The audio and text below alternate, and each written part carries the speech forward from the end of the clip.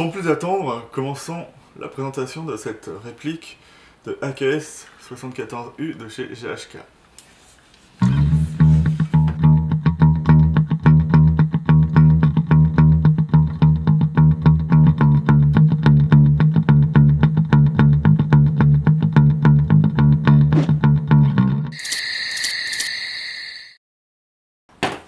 Donc, pour commencer, nous allons parler de la marque GHK.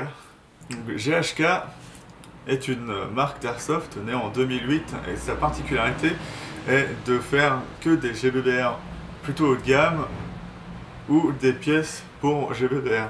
Ils ont commencé en adaptant des mécaniques euh, GBBR sur des AEG. C'est notamment eux qui ont fait la M4 GBB Box, qui est donc une box GBBR à utiliser avec des chargeurs spéciaux et qui ressemble à une gearbox. Donc GHK est notamment euh, connu pour bah, la plupart de ses modèles. Ils font des M4 et ils ont fait notamment récemment le G5 et leur première réplique qui fut très très connue est le PDW, très très connu pour sa fiabilité. Et oui en effet, euh, GHK a commencé par faire des répliques d'AK, mais celle-ci n'était vraiment pas trop au niveau. Euh, les corps étaient des D-Boys et euh, il fallait vraiment mettre du Ratec dedans pratiquement partout pour que ça marche. Chez certains ça marchait quand même. Mais voilà. Donc si on connaît GHK chez nous, c'est vraiment pour le G5 qui a vraiment fait un, tabac. Euh, c'est une réplique de très très bonne qualité pour un prix vraiment une somme modique. En France, on peut, si on a de la chance, on peut le trouver à 300 euros, sinon c'est dans les 340 euros. Euh, une réplique en polymère qui, qui est euh, une adaptation du mécanisme du PDW et qui reprend les caractéristiques du Scorpion Evo. Mais nous ne sommes pas là pour parler de ça. Si GHK est connu aussi, c'est avant tout pour ses répliques de AK. Donc, qu'est-ce qui a changé depuis D-Boys euh, Une nouvelle mécanique revue et notamment des corps beaucoup plus réalistes qui sont euh, réalisés en coopération avec LCT. Euh, je dis bien coopération parce que la plupart des gens vont vous dire oui, GHK, c'est un corps LCT. Et ben non, c'est pas un corps LCT. Parce que ce n'est pas un corps d'AEG. Euh, vous pourrez jamais mettre une, euh, une gearbox là-dedans. En effet, le corps est usiné pratiquement comme le vrai.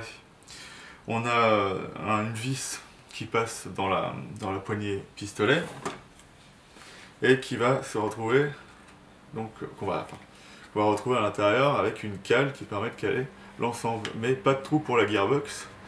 De même, on aura sur la partie avant des rivets qui vont euh, comment dire, entourer une partie spécifique au GHK qui sert notamment à visser le canon vu qu'ils ne sont pas posés pareil sur les LCT avec la gearbox et euh, le bloc hop-up et on aura en plus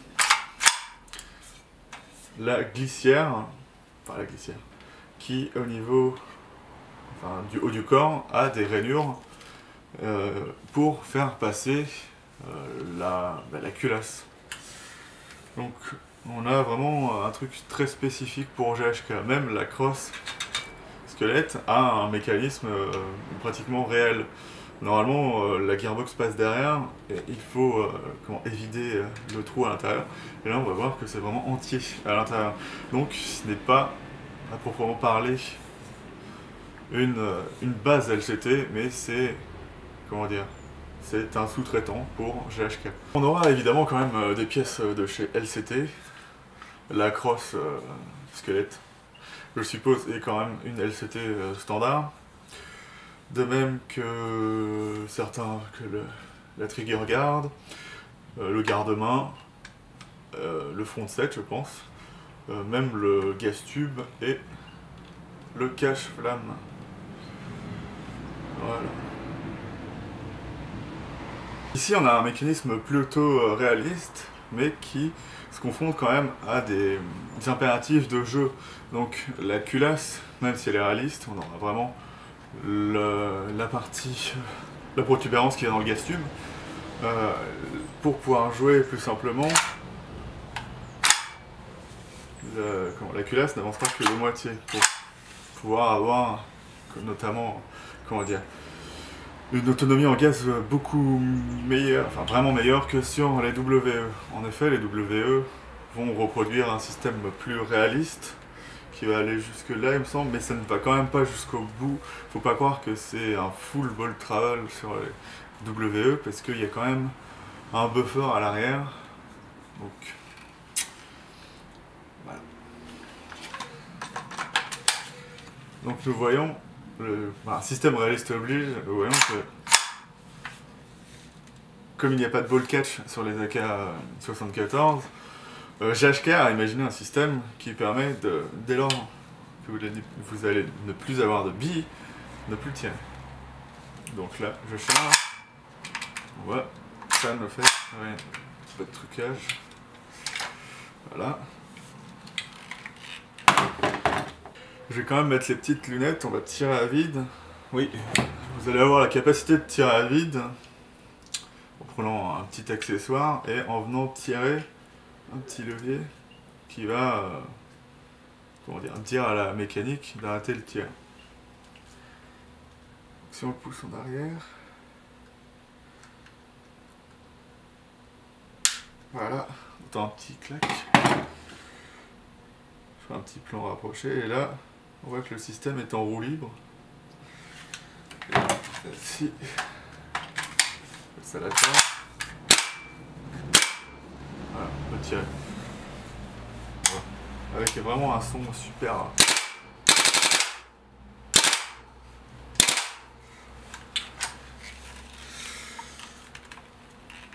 Et donc pour revenir à l'état initial, il faut juste euh, faire attention et repousser le petit pitonio, voilà. Et là, on est bon pour repartir comme en 40. Voilà. On a le système du mag qui est hop. Voilà. Et ah.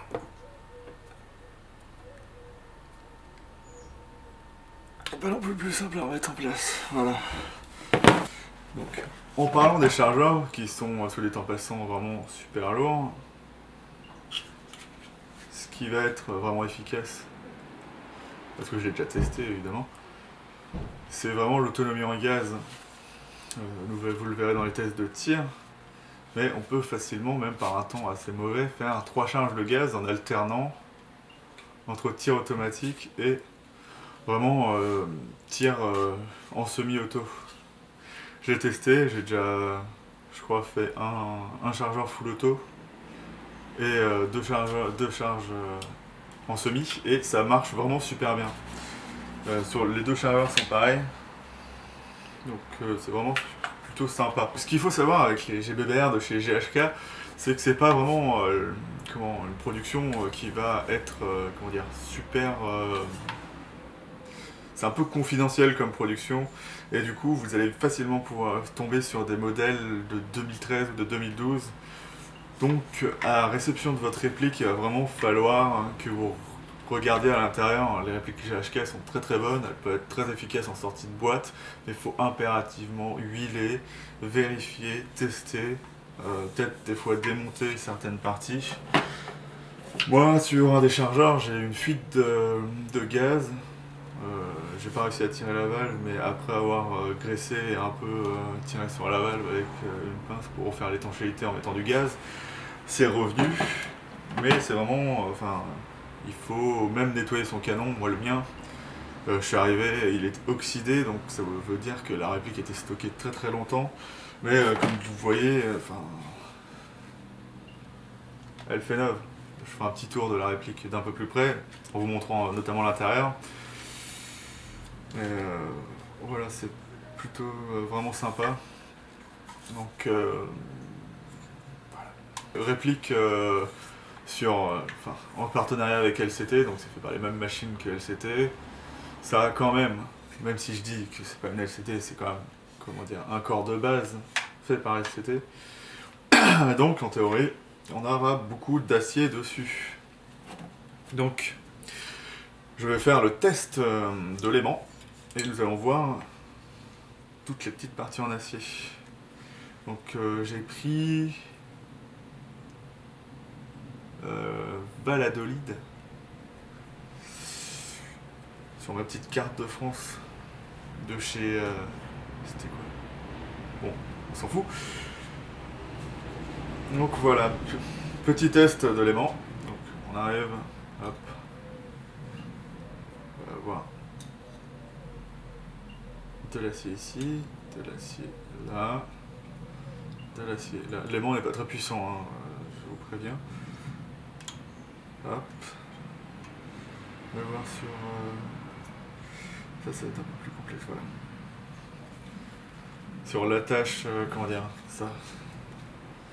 La pièce qui sert à, tenir la crosse. On en aura sur le sélecteur externe de tir. Peut-être l'interne n'en a pas. Ici, c'est en acier aussi.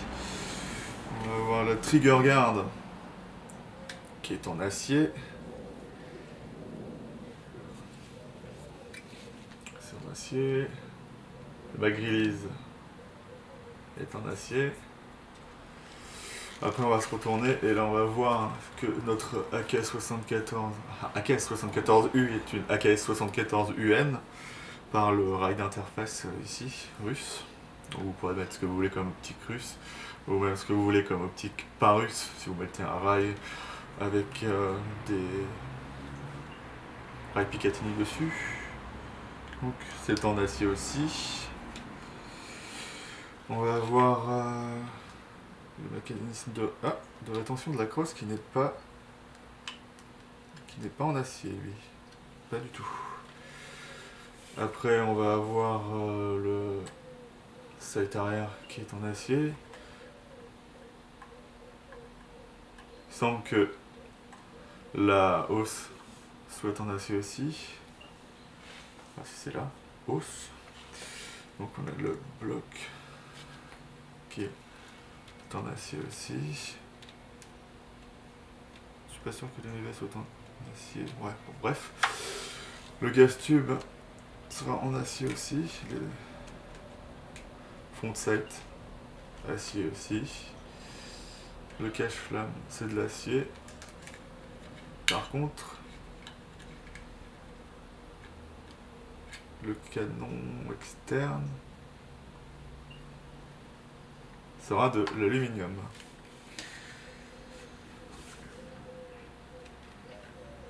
Après, on ira voir en interne ce qui se passe. C'est pas...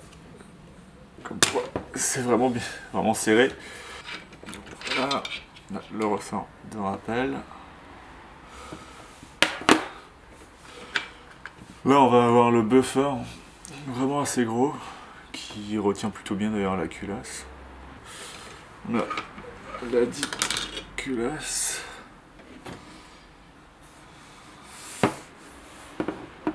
Hop.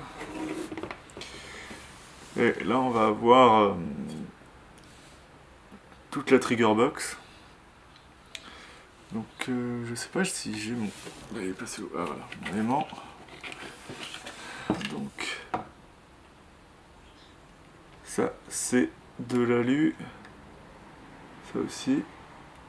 Ça aussi.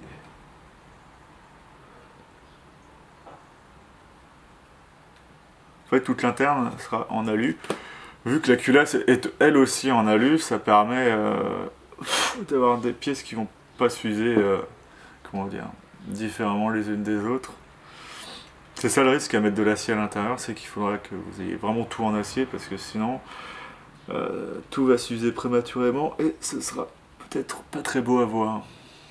Donc voilà, donc là on voit que le marteau est engagé mais il reste bloqué, donc, comme Donc on va d'abord voir ce que ça fait. Un chargeur engagé. Ah oui, comme j'ai pas la culasse, je peux pas vérifier. Donc, on va avoir ça qui va permettre de retenir la culasse et donc dès qu'on l'a vers l'avant, hop, d'accord. Ah d'accord. On va pouvoir tirer. On, va... on a vu que rien le fait que le fait de mettre tout le système. Là on va voir le... la valve de percussion, enfin le ce qui a percuté la valve, donc on le voit bien là. Hop, ça part en avant. Système qui a l'air plutôt réaliste. Là on voit du coup la pièce qui retient le filetage de la vis de la crosse. Alors là on va voir le bloc hop-up qui est en plastique. Donc si vous voulez le, changer pour un métal, c'est une des seules upgrades qu'il faudra faire dessus. En théorie. Euh, qu'est-ce que je puis dire d'autre? Donc voilà, on voit bien que le corps, oui, encore une fois, c'est du GHK. On va avoir cette pièce là qui est spécifique, qui vient se rifter sans les côtés et euh, qui vient accueillir le canon, le bloc hop-up. Voilà, tout ça, on aura notre euh, ce qui fait suivre la glissière. et là on aura notre trou pour le de gaz tube avec la protubérance sur euh, la culasse. Alors voilà. La réplique est donnée pour tirer dans les 380 fps, donc la pièce à changer, ce sera le nozzle. A noter que le système est vraiment super simple, on n'a pas de ressort de rappel. Euh, à mon avis, ça revient sur, la, sur le bloc hop-up et le nozzle revient en place tout seul quand la culasse revient. C'est moi qui ai poli. Euh, la, réplique, elle, elle, ne vient pas comme ça. Hein. C'est juste que pour que ce soit un peu plus aisé, j'ai fait quelques ajustements dessus. Bon, peut-être qu'ils sont à revoir d'ailleurs. Euh, voilà, sur les GBB1, de toute façon, euh, il faut un entretien régulier, au moins au début, puisque vous allez avoir plein de, peinture interne qui va se barrer. Euh, donc en option euh, comme nozzle, vous allez avoir plusieurs possibilités. Soit vous prenez le nozzle Japon qui va vous sortir dans les 330 fps, 1 joule. Soit vous prenez le nozzle de chez FG Airsoft qui, qui est ajustable par clé Allen sur le côté, je crois qui est vraiment très simple d'utilisation. Et la dernière option, c'est euh, euh, comment? Captain Cavern du forum euh, GBB Techniques qui peut vous faire un nozzle d'ajustement. Voilà. On voit que donc, le, top cover est relié à la carcasse par ce système qui à la fois sert, si vous voyez là, Hop. Bloc le gaz tube. Ce qui est assez différent des systèmes des AK normales qui auront un levier sur le côté pour euh, refermer ça. Euh, donc c'est vraiment spécifique euh, à l'AKS parce que là ça va être beaucoup plus petit. Donc on va avoir, ce que j'ai pas expliqué tout à l'heure, on va avoir un numéro de série qui est comment dire, qui est le même pour toutes les répliques. Et donc, euh, c'est vraisemblablement une, euh, une soi-disant AK fabriquée euh, en 88. Voilà, ici on va avoir notre, comme on le voit, notre ce qui retient la crosse et qui est plein contrairement au SCT où en fait on va avoir euh, la gearbox qui vient jusque, jusque là. Donc euh, si vous voulez un corps GHK, il faudra un corps GHK, vous pourrez pas prendre de LCT. Euh, à part ça...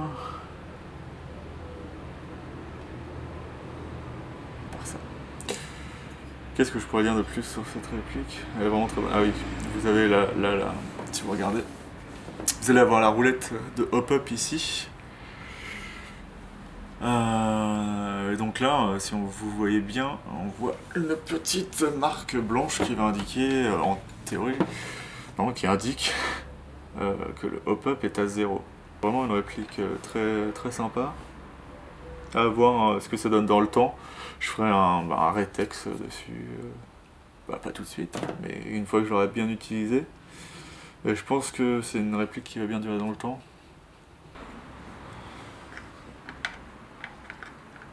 Le buffer qui limite la course de la culasse. Et on va avoir de même cette partie-là qui, en théorie, sur la, sur la vraie, n'existe pas.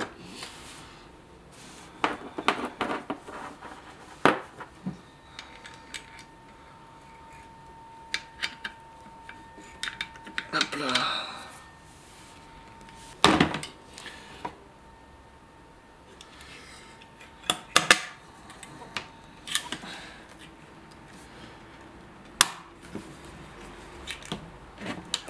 C'est un peu compliqué à remettre. Hop là, et voilà, c'est prêt. Le fonctionnement, comme on l'a vu, est réaliste, mais il faut bien faire attention quand vous allez utiliser cette AK euh, même si ça ne, tirera pas, normalement ça tirera à vide, mais si vous enclenchez le marteau de cette façon-là, euh, il ne prendra pas en compte le système d'arrêt de tir qui est dans le chargeur. En fait, euh, comment dire ça? En fait, le mécanisme doit être relié à ce qui empêche le tir, enfin le marteau de se relever quand la culasse n'est pas euh, dans la réplique. Et donc euh, là, du coup, euh, la réplique est armée. Donc si j'appuie sur la détente, la sécurité d'abord, même s'il n'y a pas de billes dedans, on va voir que le fait d'avoir chargé avant, ça a tiré là, ça ne tire plus, mais si on recommence,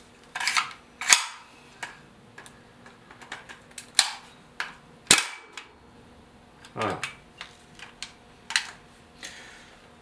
Quand on est, tant qu'on est euh, avec les chargeurs, les chargeurs d'AK sont pas forcément aisés euh, à mettre, mais euh, il y a une technique, c'est vous allez arriver là, et une fois que vous, avez, vous êtes bien dedans, vous allez vérifier que, dire, c'est bien engagé dans l'ergot, et tirer vers le bas, si ça reste, si quand vous enclenchez le chargeur, le chargeur reste en place, c'est que c'est bon.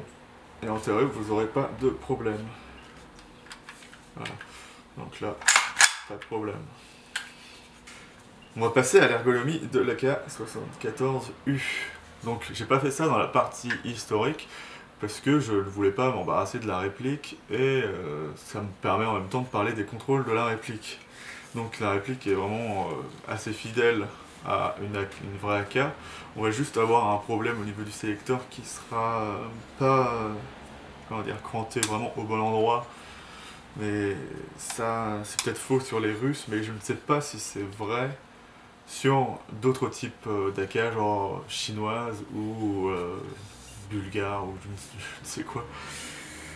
Donc à vérifier, mais pour la réplique russe, en théorie, c'est faux c'est une réplique et une arme qui seront très faciles à, utiliser de base, je veux dire dans... Donc...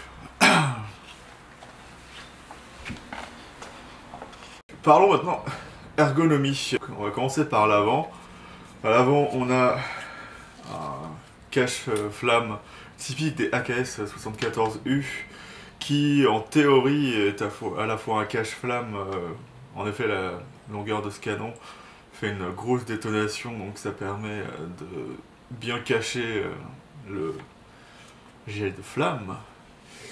Et euh, en théorie aussi un booster qui permettrait, comment dire, d'avoir plus de puissance pour reculer la culasse notamment, mais des tests on fait sur YouTube prouve que euh, la K74U n'en a pas besoin. Donc est-ce que c'était préventif ou est-ce que ça ne sert pas vraiment de booster?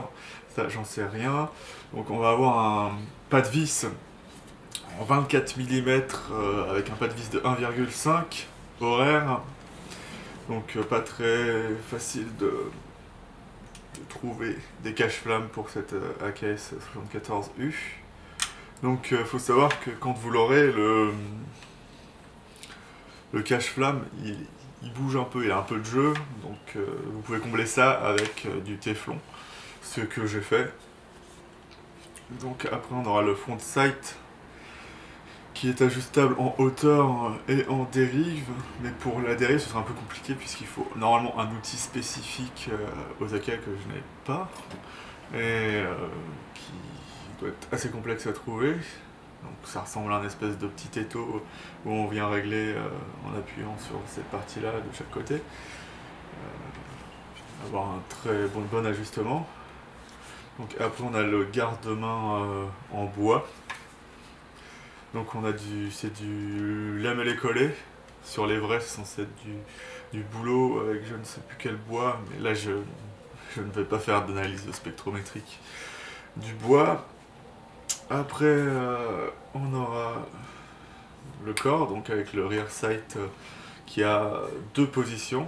Une position 400-500 euh, mètres et une position inférieure à, cette distance. Donc on aura... Donc sur le corps, les contrôles sont du côté droit de la réplique. Donc ce qu'il y a d'intéressant avec les AK, c'est qu'elles sont vraiment faites pour, euh, comment dire ça, pour être simple à utiliser. Donc voilà, on aura la charging ici, donc vraiment simple à trouver. Euh, le sélecteur de tir du même côté, ce qui fera que c'est pas vraiment pratique euh, tactiquement en jeu de, ou dans la réalité de, l'utiliser puisque par rapport à un M4 on va pas pouvoir switcher assez rapide, enfin super rapidement d'une position à l'autre, il va falloir vraiment faire attention. Hop. Euh, à noter que le sélecteur est dans une. Enfin, le, mode automatique est dans une euh, position qui n'est pas forcément réaliste pour une AK russe. Je ne sais pas pour les autres AK. Apparemment, il y en aurait qui aurait ce le sélecteur de, dans cette position là. Euh, mais ce qui va être intéressant du coup d'avoir les contrôles de ce côté-là, c'est que ça bouge pas. Et euh, donc euh, c'est une ergonomie qui pourra plaire à certains de vraiment savoir tout le temps dans quelle position ils sont sans avoir forcément à vérifier une fois qu'ils ont mis la, que, la réplique a été mise contre votre corps. Et c'est ça qui va être cool et que moi j'ai trouvé assez intéressant, c'est qu'on va ne pas être gêné euh, moi qui porte souvent ma réplique contre le corps, sans épauler euh, jusqu'au dernier moment, euh, je trouve ça vraiment sympa. Qu'indiquer d'autre Après on va avoir notre rail d'interface qui va pouvoir permettre de mettre n'importe quelle optique russe ou rail Picatinny comme j'ai déjà dit. Et après on aura notre cross squelette qui est rétractable et on aura un petit crochet de ce côté là et la réplique sera vraiment courte.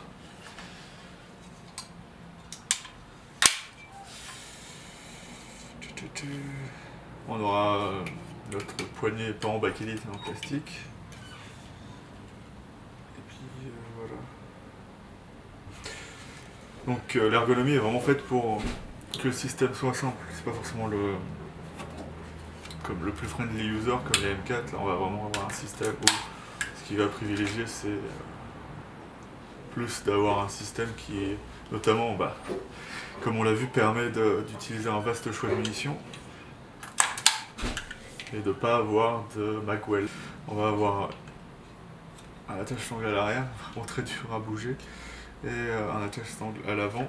Côté customisation, euh, ça va être vraiment assez simple, on a des crosses pour adapter des crosses de M4 pour cross pliant, pour cross fixe pour les AK-74 euh, normal, N quand même.